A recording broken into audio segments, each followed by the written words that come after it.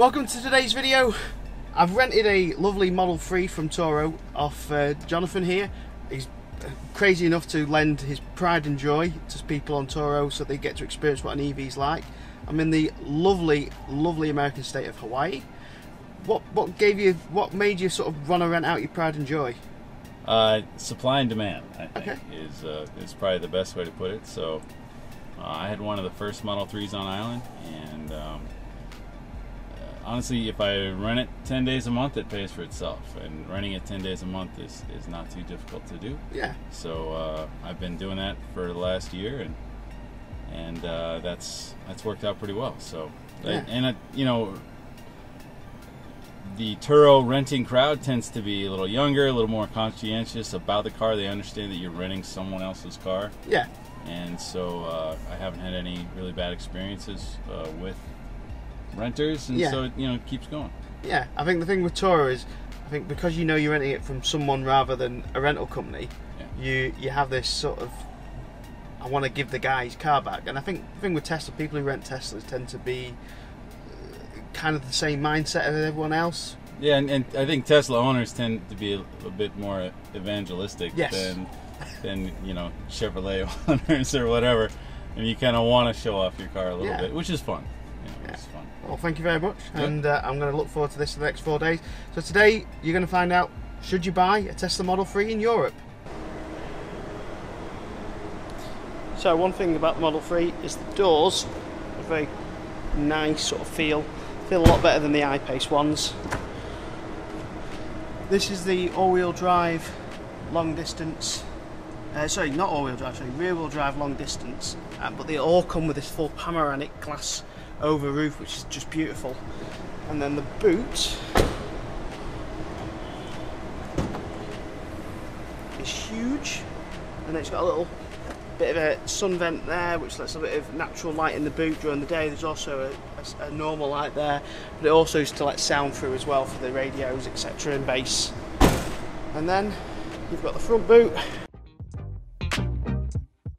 Initial thoughts of the Model 3, it's it's a, pleasure to drive. It really, really is. The one extra that I definitely, definitely, definitely am happy to have in America driving on the right hand side of the road, on the wheel on the left hand side, is autopilot. It just makes driving abroad much easier, especially on the highways where being a right hand drive driving person, I'm used to centering to the right, which everyone else centers to the left in America, so it kind of stops you having any accidents, uh, especially on tight, narrow uh, motorway roads, or as they call them, highways. So the autopilot has been a godsend over here. Even the wife has slightly enjoyed it. She said it's all right, which is from the wife is, is amazing. She keeps telling me off every time I'm not holding the steering wheel 100% of the time, but she's slowly getting used to it. She did say that she probably trusted to drive herself, drive her to work in the morning, which is basically just a straight road for her all the way through. This one does recognise speed signs at the moment, which is amazing. So a couple of things to note: the speed limit for the Tesla Model 3 is up here. Autopilot is obviously on at the moment, and that's all displayed here. And then your satellite satellite navigation's here.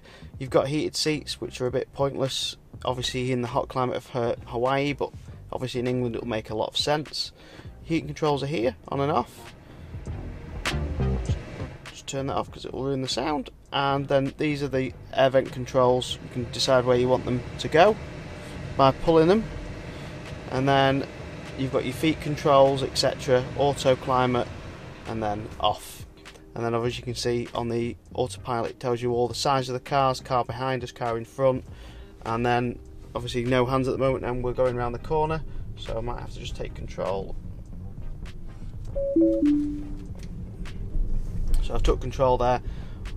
To click autopilot on, what you do is you double tap this stick here, and then that takes autopilot on here, and that's full full steering wheel and obviously brake and obviously the uh, the acceleration. So if you can see at the front here, is that the car in front stopped, and we've automatically stopped without me pressing the brake. And as soon as the car in front starts moving, the car starts accelerating and going forward. There's an update that's just been come through today, which is an update for a power update that Tesla released for all their Model 3 owners. So this is going to drop from its current top speed to its new top speed. I'm going to try a 0 60 test with Laura, who's never, ever, ever done a 0 60 in a Tesla yet. Excited? You so much. Are you excited? No. One, two, three.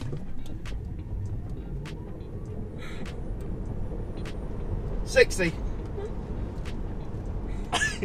Did you like that? No.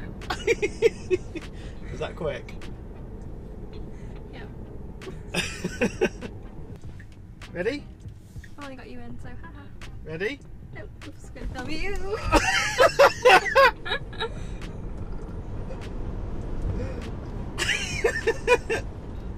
you like that, didn't you? You're smiling. Look at your little happy face. Ready? Oh, wow. Did you like it? no. Why are you laughing then? Yes.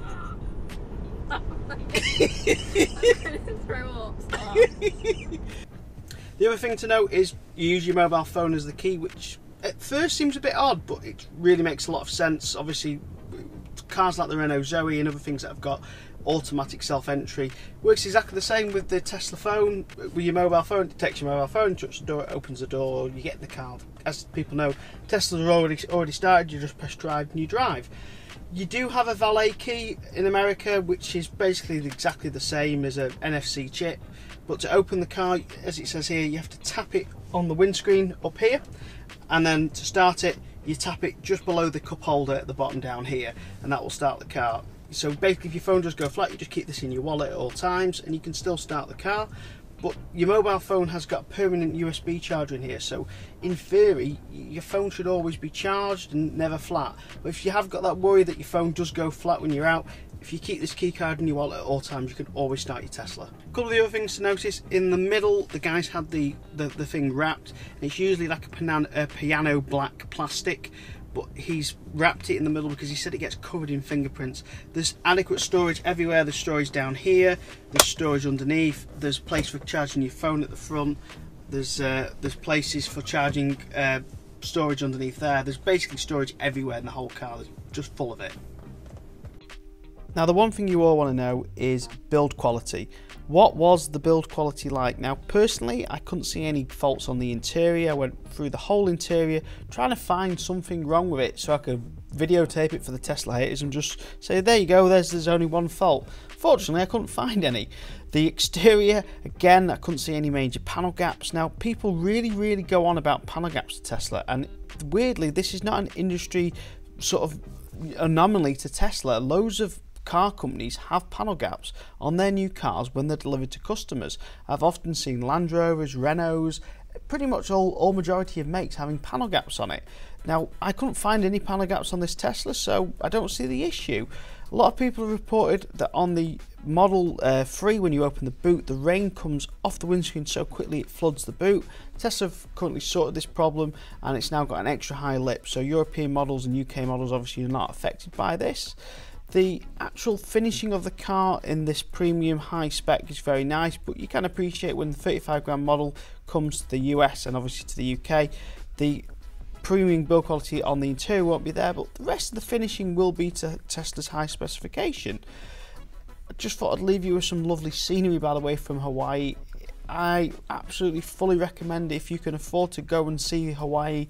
It is a beautiful island, one of the most beautiful places ever actually seen in my entire life. It's volcanic, it's beautiful, it's scenic, it's just a stunning place to drive this Model 3.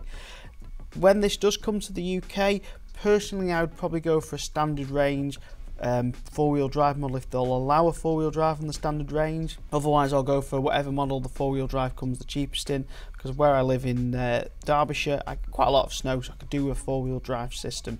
However, I wouldn't be off put from buying the rear-wheel drive standard range. This obviously is long range, but on Hawaii in this island there is no superchargers, and you basically, if you're going somewhere, the island's not too big, but you kind of want that range to always get back to where you're going because there's no obviously fast charging, supercharging stations there.